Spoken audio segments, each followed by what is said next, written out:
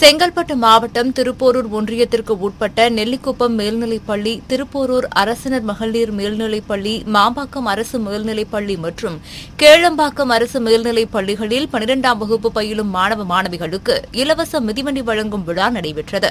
இந்த விழாவில் விடுதலை சிறுத்தைகள் கட்சியைச் சேர்ந்த திருப்போரூர் சட்டமன்ற உறுப்பினர் எஸ் எஸ் பாலாஜி மற்றும் திருப்போரூர் ஒன்றிய பெருந்தலைவர் இதயவர்மன் ஆகியோர் சிறப்பு விருந்தினர்களாக கலந்து கொண்டு மாணவர்களுக்கு இலவச மிதிவண்டியை வழங்கி வாழ்த்துறை வழங்கினர்.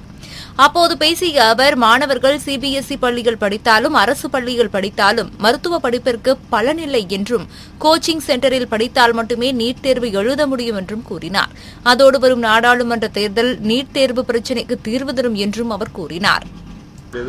ஏற்கனவே இது தொடர்பான சட்டம் நீட் விலக்கு சட்டம் சட்டப்பேரவையில் வந்தபொழுது ஒரு ஆவணத்தை ஒரு ஆராய்ச்சியின் மூலம் நிரூபிக்கப்பட்டிருக்கக்கூடிய ஒரு ஆவணத்தை முன்வைத்து பேசியிருக்கிறேன். அமெரிக்காவிலே ஒரு ஆய்வு செய்திருக்கிறார்கள். ஏற்றத்தாழ்வுகள் நிறைந்த சமூகத்தில் ஒரு குறிப்பிட்ட காலம் ஒரு கல்வியை மேற்கொள்கின்ற பொழுது அந்த மாணவர்களுக்கிடையே இருக்கக்கூடிய ஏற்றத்தாழ்வு குறைந்து விடுகிறது.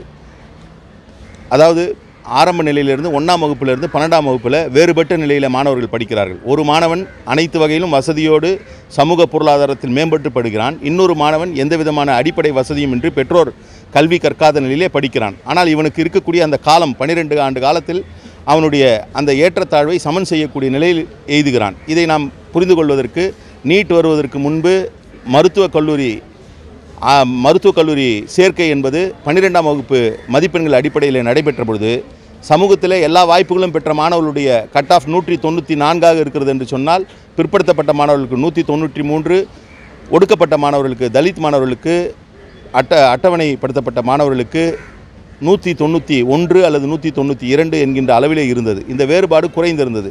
போட்டித் தேர்வு என்று வருகின்ற பொழுது இந்த பள்ளியிலே படித்த பாடங்களை எல்லாம் கடந்து அவர்களுக்கு தனியாக பயிற்சி வழங்கப்படுகிறது. போட்டித் தேர்வுகள் என்பது கல்லூரி அளவிலே படித்த மாணவர்கள் வேலைவாய்ப்புக்கு செல்லக்கூடிய மாணவ வேலைவாய்ப்புக்கு செல்லக்கூடியவர்களுக்கு போட்டித் தேர்வு நடத்துவது சரி.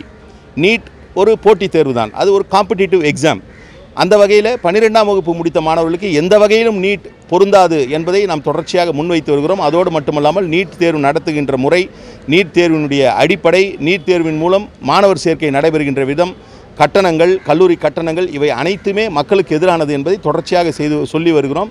அந்த நிலை அடுத்த ஆண்டு நிச்சயம் தகர்க்கப்படும் என்கின்ற நம்பிக்கை இருக்கிறது. அதற்கான சூழல் வர இருக்கின்ற தேர்தல் ஏற்படுத்தி கொடுக்கும்.